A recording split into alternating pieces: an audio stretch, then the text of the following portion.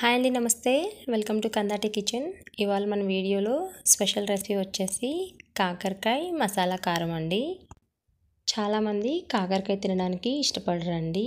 చేదుగా ఉంటుందని. బట్ నేను చెప్పే ప్రకారం మీరు గాన కాకరకాయ కర్రీ చేసుకుంటే అసలు కాకరకాయ చేదు అనేది ఉండదండి. చాలా టేస్టీగా ఉంటుంది.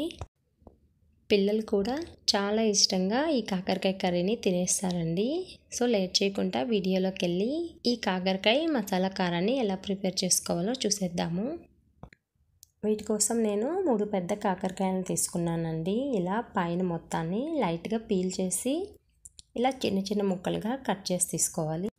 ఇందులోకి ఒక teaspoon salt half teaspoon పసుపుని యాడ్ చేసుకోవాలండి.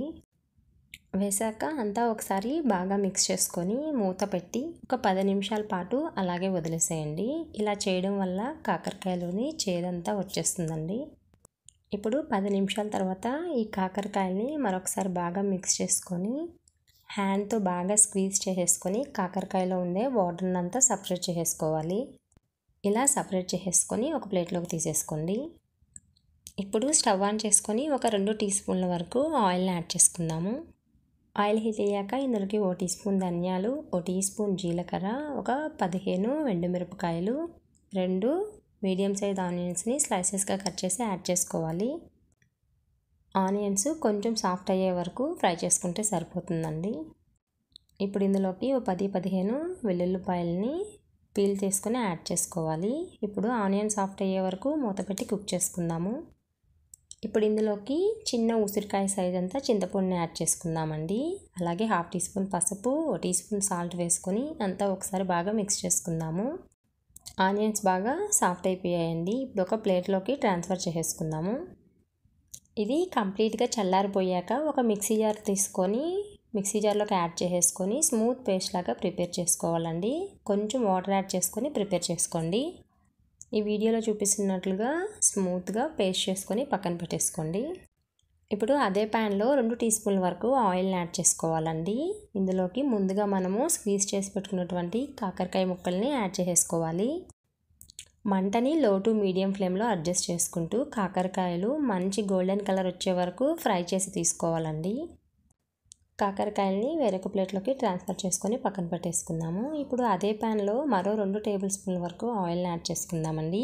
ఆయిల్ కొంచెం హీట్ అయ్యాక ఇందులోకి పావు టీ స్పూన్ ఆవాలు హాఫ్ టీ స్పూన్ మినప్పప్పు అలాగే హాఫ్ టీ స్పూన్ శనగపప్పుని యాడ్ చేసుకుందాము. అలాగే కొంచెం కరివేపాకు యాడ్ చేసుకొని ఇప్పుడు మనం ముందుగా ప్రిపేర్ చేసుకున్నటువంటి ఆనియన్ పేస్ట్ని యాడ్ చేసేసుకుందామండి.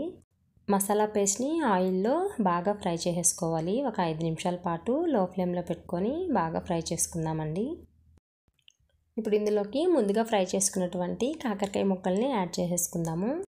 అలాగే చిన్న గ్లాసుడు వాటర్ అనేది యాడ్ చేసుకుందామండి. ఇప్పుడంతా ఒకసారి బాగా మిక్స్ చేసుకొని మూత పెట్టుకొని ఆయిల్ రిలీజ్ అయ్యే వరకు కుక్ చేసుకుందాము. ఇప్పుడు ఇందులోకి సాల్ట్ కారం తక్కువ అనిపిస్తే కొంచెం యాడ్ చేసుకొని అంతా ఒకసారి బాగా మిక్స్ చేసుకుందామండి. మరో ఫైవ్ మినిట్స్ పాటు మూత పెట్టి లో ఫ్లేమ్లో కుక్ చేసుకుందాము. ఆయిల్ అనేది రిలీజ్ అయిపోయి కర్రీ అనేది మనకు పర్ఫెక్ట్గా రెడీ అయిపోయిందండి. ఇప్పుడంతా ఒకసారి బాగా మిక్స్ చేసుకొని స్టవ్ ఆఫ్ చేసుకుంటే మనకు ఎంతో టేస్టీగా ఉండే కాకరకాయ మసాలా కారం రెడీ అయిపోతుందండి. ఇలా కనుక మీరు కాకరకాయ కారం ప్రిపేర్ చేసి పెడితే ఇంట్లో కాకరకాయ తిన్నోళ్ళు కూడా చాలా ఇష్టంగా తినేస్తారండి. పిల్లలు కూడా చాలా ఇష్టంగా తింటారు. తప్పకుండా మీరు ఒకసారి ట్రై చేసి మీకు ఎలా కుదిరిందో కామెంట్ సెక్షన్లో తెలియచేయండి. ఈ వీడియో కనుక మీకు నచ్చినట్లయితే లైక్ చేసి షేర్ చేయండి. మరిన్ని క్విక్ అండ్ టేస్టీ రెసిపీస్ కోసం కందాటి కిచెన్ ఛానల్ని సబ్స్క్రైబ్ చేసుకొని పక్కనే ఉన్న బెల్ ఐకాన్ని ప్రెస్ చేయండి.